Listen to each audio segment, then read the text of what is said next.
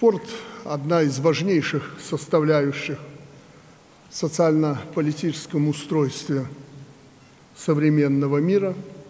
И каждый сегодня в Беларусь, не только мы с вами, понимает это. Олимпийские победы, если они есть, объединяют нацию, вселяют чувство гордости за свою страну, открывают новых героев – отражают, в конце концов, уровень развития общества, науки, медицины, экономики и государства в целом.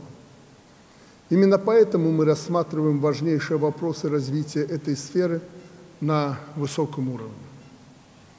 В начале Олимпийского собрания нам, уважаемые товарищи, предстоит решить ряд организационных вопросов – в числе их обновить состав Национального олимпийского комитета и его органов. Это связано прежде всего с кадровыми изменениями в руководстве спортивных организаций и по другим причинам. Как принято в данном случае констатировать, кворум имеется.